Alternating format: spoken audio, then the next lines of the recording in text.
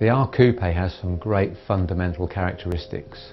Near 50-50 weight distribution and a powertrain that's very, very responsive. New technology and carbon ceramic brakes all work in harmony to create a fantastic driving experience. A first technology for Jaguar on the F-Type Coupe is torque vectoring by braking.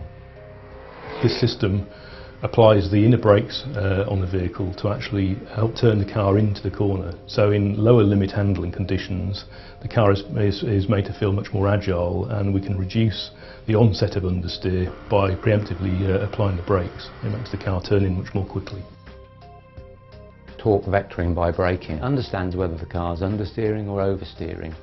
It then applies each of the brakes independently to modify the line of the car allowing the car to improve its line through a corner and thus creating a car that's got a higher entry speed and exit speed which obviously results in a safer and faster car. New for F-Type Coupe we now have our second generation active differential. The advantage of a active differential over a mechanical differential is that we can map it to operate in the way we want it to during a number of different driving events. That could be acceleration, that could be entering into a turn, could be exiting a turn, or simply at high speed where we want to control the stability of the vehicle.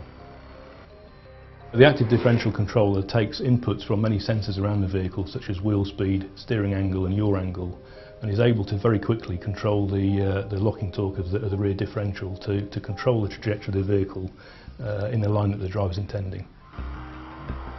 So as the driver approaches the limit and applies the power, we now are uh, able to lock the differential to correct for understeer. On F-Type Coupe, we're also offering optional carbon ceramic brakes. The carbon ceramic brake contributes to a 21 kilogram weight saving for the F-Type R Coupe. It makes the car more agile and has an enhanced power to weight ratio. The benefits of the carbon ceramic brake over a conventional grey cast iron brake is its ability to run at high temperature. These brake discs are much tougher and harder wearing than a conventional brake disc. It's made of silicon carbide in part of its composite and that type of material is very hard and very high temperature resistant. It's these features and systems that make the F-Type R Coupe the ultimate Jaguar sports car.